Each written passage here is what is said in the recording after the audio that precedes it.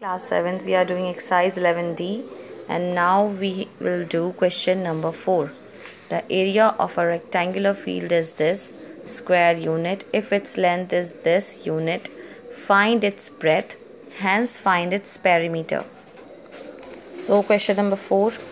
Area of a rectangular field is given. Length is given. We know that area of a rectangle is equal to length into breadth. Therefore, children, breadth is equal to area upon length. This L will go this side and in the denominator. Now, breadth is equal to area upon length and what is the area given this and what is the length given this. So, here we are going to use division which we have learned so far to divide it. So, let's divide.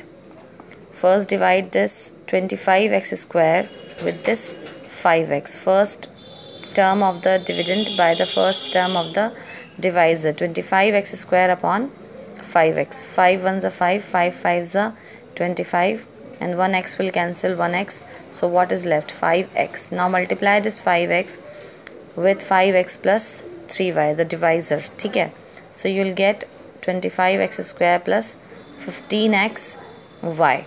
Now keep it here. And keep this 5x over here. okay now in order to subtract change the sign. Here it is plus so minus plus therefore we'll put a minus. Now plus minus cancel. And plus minus minus 20 minus 15 5xy 20 is greater so plus it is positive. Now plus 3y square will come down. Again divide the first term of the dividend by the first term of the divisor. So 5xy upon 5x x cancel x 5 cancel y. 5 so we'll get y. Now multiply this y with 5x plus 3y what you will get? 5xy plus 3y square.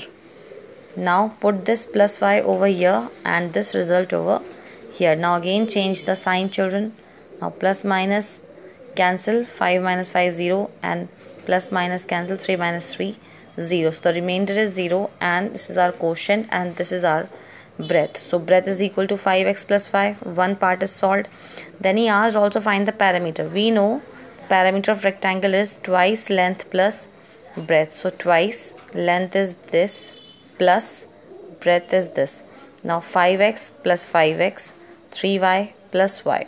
Now 5x plus 5x 10x 3y plus y 4y now multiply this 2 inside.